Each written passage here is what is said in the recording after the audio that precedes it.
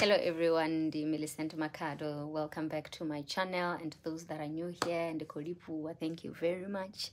Today I am going to speak about uh, the black candle. I know there's a lot of things that people don't know about the black candle and people are scared of the black candle because there's a lot of people who use the black candle for witchcraft, which is very true.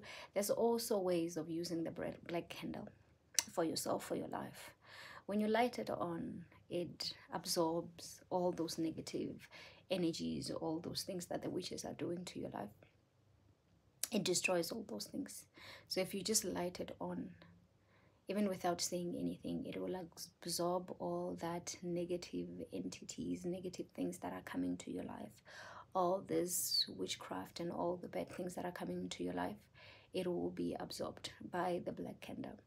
I know that there's a lot of people who use the black candle as um, their send back to sender. There's a lot of people who use a black candle with a white candle in order for it to absorb, uh, for black and white to be together. So they light the black candle and also light the white candle. And it helps them a lot to channel the um, darkness and light at the same time. But don't ever think a black candle is bad. It is what it is used for. If you're using it for good, it will work for you. People can also use it for bad. You know, it is not the candle that is bad, but it is the intention behind using the black candle. It can also help you so much when you're going through a difficult time, when you're heavy, when your house is heavy. Um, most people believe that if you use it on a Saturday and switch on a, a, a candle, at night the black candle it will also help you a lot with bringing that peace into your life.